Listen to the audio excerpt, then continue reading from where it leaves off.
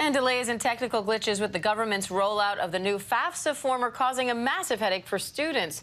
This as Snap and DocuSign announced major job cuts. ABC News business reporter Alexis Christoforous has more on that and your other business headlines. Alexis, what are you watching today? This is really tough for folks applying to college right now, Diane. So fewer people are applying for student financial aid because of delays and technical glitches with the government's rollout of the new FAFSA form. So college financial aid applications are down nearly 60%, according to Department of Education data.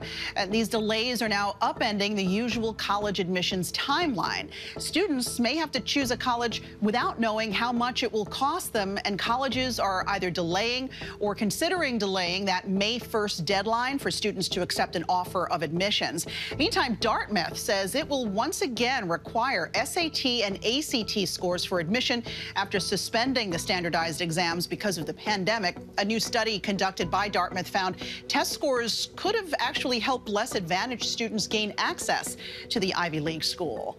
And more job cut announcements in in the hard-hit tech sector. Snapchat's parent company is laying off more than 500 workers, while DocuSign is cutting 440 jobs. They join a long list of tech companies tightening their belts after going on a hiring spree during the pandemic. So far this year, more than 30,000 job cuts have been announced in the tech sector alone, including at Google, Amazon, and Microsoft. McDonald's and Starbucks say the Israel-Hamas war is hurting sales at their locations in the Middle East. Both CEOs have defended their companies publicly against these accusations, the McDonald's CEO calling the backlash disheartening and ill-founded. Some customers have also taken to social media to complain about something else. Recent price hikes at McDonald's U.S. locations, including an Egg McMuffin costing over seven bucks and a Big Mac combo meal priced at nearly $18.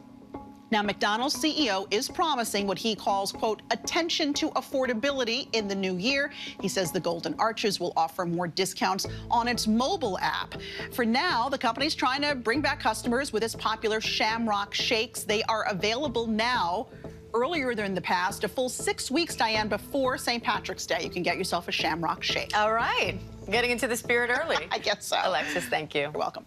And if you have any finance questions for Alexis, leave a message on our Instagram feed at ABC News Live, and she might answer your question right here on Thursday.